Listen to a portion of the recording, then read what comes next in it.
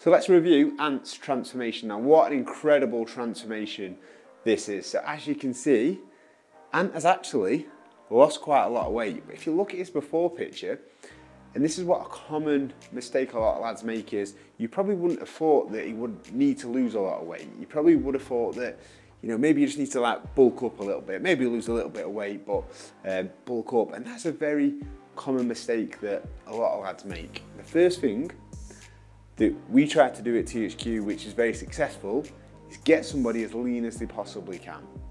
Because a leaner body is going to sleep better, it's going to perform better, it's going to handle food better.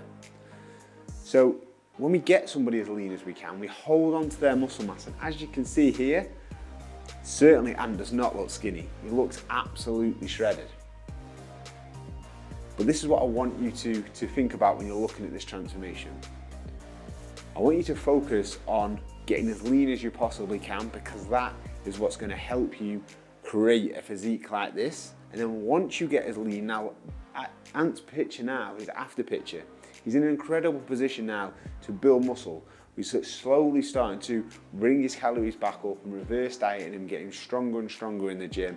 And now he can bulk up, but a lean bulk. So he actually has a physique as well and not just getting a little bit bigger.